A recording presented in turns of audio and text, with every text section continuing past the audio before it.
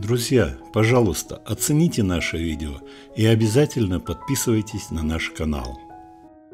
Лишь одна роль стала по-настоящему звездной в биографии этой актрисы – образ скромной Тони Глечиковой. В фильме Станислава Ростоцкого «Дело было в Пенькове».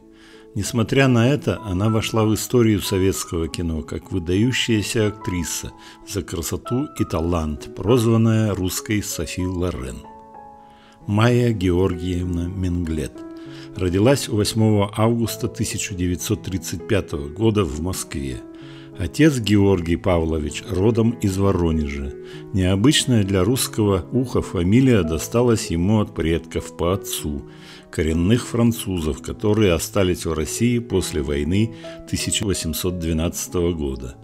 Мама актрисы Валентина Королева была наполовину латышкой по национальности – дочерью революционерки и меньшевика родом из Красноярска. В 1937 году, когда Майе было два года, родители, забрав дочь, уехали в Душанбе, тогда Сталинабад, поднимать новый русский театр в таджикской столице. Здесь девочка росла до 10 лет.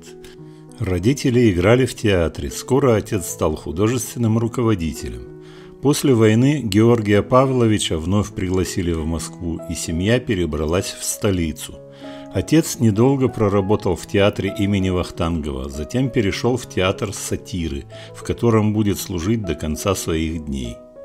Юная Майя, несмотря на пример родителей актеров, не сразу выбрала проложенную ими дорожку. Долго сомневалась в себе, своей внешности, хотела поступать на ИНЯС, но в итоге все-таки подала документы в школу-студию МХАТ в 1953 году. Зря Менглет переживала по поводу своей привлекательности. В ВУЗ девушка поступала такой красавицей, что неожиданно для себя получила предложение работать в доме моделей на Кузнецком мосту – Кроме того, стройную брюнетку ростом 169 сантиметров пообещали сразу отправить в Англию на стажировку. Когда она восторженная сообщила об этом отцу, тот отвесил ей пощечину. Предать театр для него было самым низким поступком. Предложение пройти пробы на главную роль в фильме Станислава Ростоцкого «Дело было в Пенькове» поступило студентке на последнем курсе института. Партнером артистки стал первый красавец Советского Союза Вячеслав Тихонов, роль Матвея Морозова. Поначалу Майя очень робела перед звездой, но потом влилась в процесс и освоилась на съемочной площадке.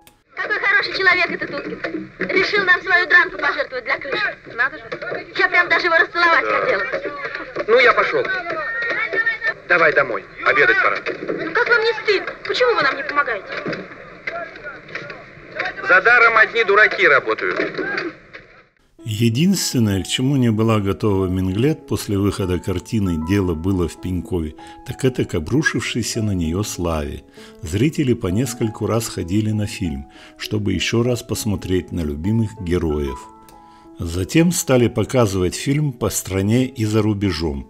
Минглет Тихонов и Светлана Дружинина побывали во многих странах. Иностранцы называли Майю русской Софи Лорен. Второй работой в фильмографии новоиспеченной звезды стала комедия «Матрос с кометы» 1958 год. Затем Майя снялась в социальной драме «Исправленному верить» 1959 год. А в 1961 году Майя Менглет снимается вместе с Василием Шукшиным в фильме «Аленка». Чего тебе еще надо? Ничего. Устала я тут. Так а чего ж ты устала-то? Я морально устала. Да ты этого не поймешь. Со временем актриса реже снимается в кино, отдавая все силы любимому театру имени Станиславского, куда пришла служить сразу после института. В 80-е не снималась, и только в 90-е вновь пополнила фильмографию несколькими работами. В числе самых известных съемки в сериале «На углу у патриарших» 1995 год. Большая любовь рано настигла актрису. Она увидела будущего мужа Леню Сатановского еще абитуриентом знаменитой «Щуки». Рыжеволосый паренек с внешностью Вана Клиберна запал ей в душу. А потом, когда они уже встречались в студенческих компаниях, девушке в избраннике понравилось абсолютно все. Но окончательно Леонид покорил Майю роскошным исполнением романсов. Пара поженилась в 1954 году, еще будучи студентами. В 1955 году родился первенец Алексей, а за ним и Дмитрий. Сыновья взяли фамилию матери Менглет. Старший сын поступил в ГИТИС. Педагоги хвалили талантливого парня, но Алеша влюбился в свою однокурсницу, уроженку Германии, и после вуза уехал вслед за ней, чудом получив документы на выезд.